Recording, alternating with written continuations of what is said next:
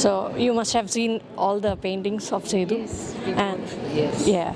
So um, as a, a well-known artist, how do you evaluate it?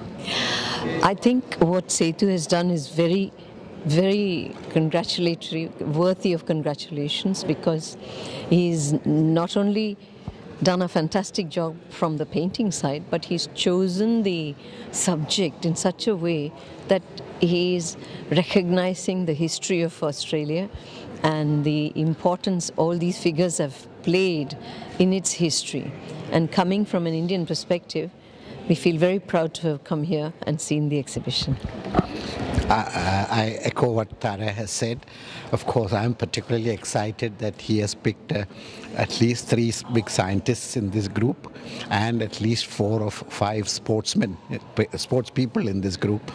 So it was great to see Don Bradman and uh, uh, Shane Warne and several others, cricket uh, and Ponting also in the field. So it's a, it's a beautiful achievement. It shows Sedu's dedication to uh, to further the understanding of uh, the history of Australia because nobody has done this before. So it is beautiful, very nice. Congratulations to Sedu. And do you think this can help um, in any way for the younger generation?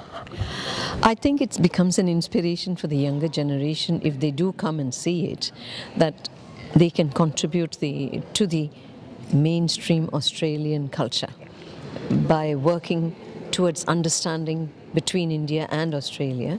They become a very powerful link, and that is what they can learn from it. Thank you so much. Thank you. Thank you. Thanks,